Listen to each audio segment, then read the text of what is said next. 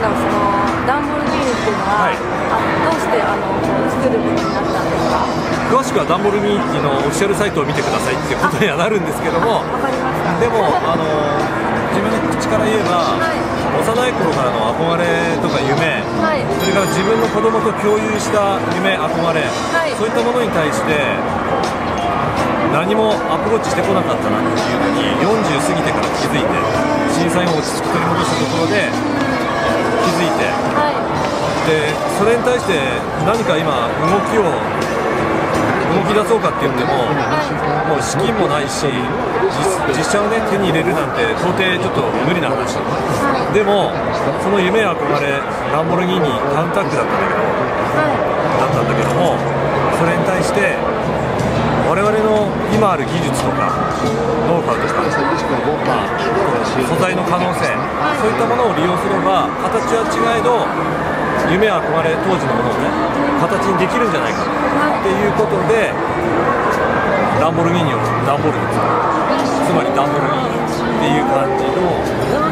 もう一つが石巻でももう旧軍部の物町っていう位置に我々の会社あるんだけどもその地域の若い人たちがどんどんやはり東京だ仙台だって地域外に流出してしまってる。で行く流出してしまってる出て行ってしまう若い人たちの半数は漠然とした期待感とか正確なその夢とか憧れとかなんかそういった目的を持って行くんじゃなくて何かに出会えるかもしれないとか何か自分が活躍できるステージがあるんじゃないかっていう漠然とした夢期待感で都会に出てっちゃうでも逆言うと地元にはそういった夢も見れないようなものしか感じられてない。だったら俺らがこういうものをね具現化することで何かこうメッセージを伝えられるんじゃないかあとはこれはあんまり言う話じゃないかもしれないけど上のね諸先輩方の地域にいるねその諸先輩方のよく地域貢献だとか地域発展のためにっていう風なご挨拶は聞くけども、実際に具体的に動いてる人って実はほとんどいなくてで上の人たちって既得権益の自分のポジションを守るのに一生懸命で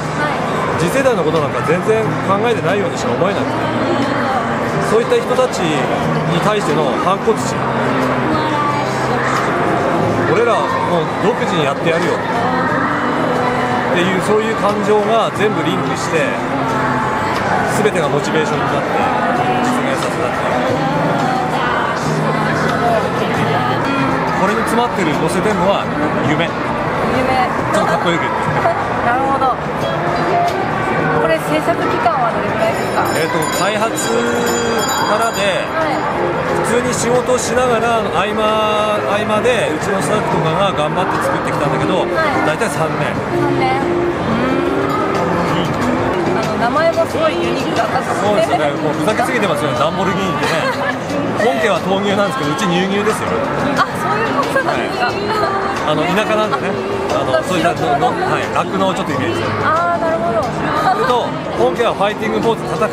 姿勢だけどうちは草をはんでる。あ本当だ草を、草を草を食べてる。で本家は無表情だけどうちはちょっとやんちゃそうに俺と同じようなそのグラスをグラスを。かけて本当だ。はい。あ実用性ゼロのジャッキです。すごいジャッキまであるとは La あ、す、すごい。